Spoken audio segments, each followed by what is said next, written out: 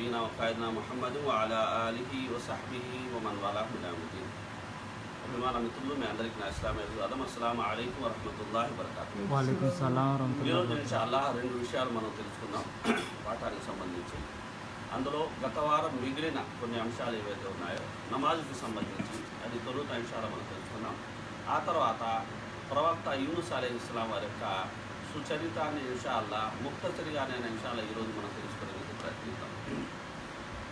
గత వారం మనం నమాజు రకాలు తెలుసుకున్నాం. అంటే సామూహిక నమాజు జుమా నమాజు వర్షం కోసం చేసే నమాజు అలాగే సూర్యగ్రహణ నమాజు చంద్రగ్రహణ నమాజు ఇవన్నీ మనం తెలుసుకోవడంతో పాటు నఫిల్ నమాజుల యొక్క ప్రాధాన్యత కూడా మనం గత వారం తెలుసుకోవడం జరిగింది. అల్లాహ్ సుహానవతల ముందుగా నమాజు గురించి లెక్క తీసుకుంటాడు. నమాజు గురించి లెక్క తీసుకున్నప్పుడు ఇతను ఫరజ్ కరెక్ట్గా చేశాడా? ఒకవేళ ఫరజ్లో కనుక ఏకాగ్రత విషయంలో కానీ ఇతరత్ర విషయాల్లో కానీ లోటుపాట్లు ఉన్నట్లయితే ఇతని దగ్గర నఫిల ఆరాధన ఉన్నాయని ఆరా తీయడం జరుగుతుంది. ఒకవేళ నఫిల్ ఆరాధన ఉన్నట్లయితే ఫరజ్లో ఏర్పడిన ఆ లోటును అల్లా సుబహానంత నఫిల్ ఆరాధనల వల్ల పూర్తి చేస్తాడు అని మనం తెలుసుకోవడం అనేది జరిగింది. అదేవిధంగా ప్రవక్త ముహమ్మద్ సల్లల్లాహు అలీ వసల్లం వారి యొక్క సాంగత్యాన్ని స్వర్గంలో కోరుకున్న ఒక సహాబిని ఉద్దేశించి ఆయన చెప్పిన మాట ఏంటంటే ఈ విషయంలో నువ్వు నాకు ఎక్కువ సజ్దాలు చేసి సహకరించు అని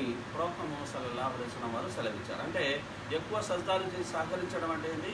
నఫిల్ ఆరాధనను అత్యధికంగా చేయమని ప్రవక్త ముహమ్మద్ సల్లాహం వారు సెలవిచ్చారు.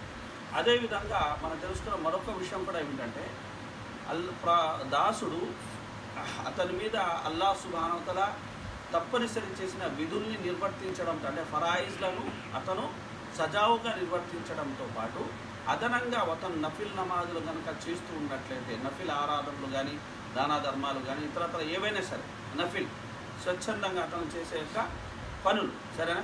అది ఎక్కువ అతను చేస్తున్నట్లయితే చివరికి అల్లా అతన్ని ప్రేమించడం ప్రారంభించేస్తాడు. ప్రేమించిన తర్వాత అతను మాట్లాడే నాలుకనైపోతాడు అతను చూసే తన నేత్రాన్ని అయిపోతాడు అతను వినే తన చెవిని అయిపోతాడు పట్టుకుని పట్టుకునే తను అయిపోతాడు నడిచే కాలుని అయిపోతాడని మనం చే- తెలుసుకోవడం అనేది జరిగింది. కనుక నఫిల్ ఆరాధనని మనం తక్కువగా చేసి చూడడానికి లేదు చాలా మహోన్నతమైన స్థాయి అనేది వాటికి ఉంది. ఆ నఫిల్ ఆరాధనలో అగ్రభాగం అనేది దేనికి అంటే అదే తహజ్జుద్ నమాజ్. అదేంటి సార్?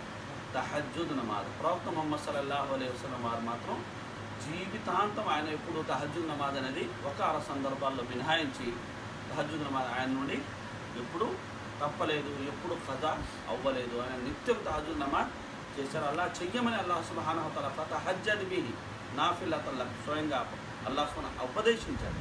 కనుక ప్రవక్త మొహమ్మద్ సల్లల్లాహు అలైహి వారికి ఐదు నమాజులతో పాటు తహజ్జుద్ నమాజ్ కూడా వాజిబ్గా ఉంది. అయితే మనకు అది సున్నత్గా ఉన్నప్పటికీ దాన్ని మనం అనేది సద్వినియోగపరచుకునేందుకు ప్రయత్నించాలి. ఎందుకంటే ఫరజ్ నమాజుల తర్వాత చాలా పుణ్యంతో కూడుకున్న యొక్క నమాజ్ ఏంటంటే అది తహజ్జు నమాజ్. సరేని? ఓకే. ఈరోజు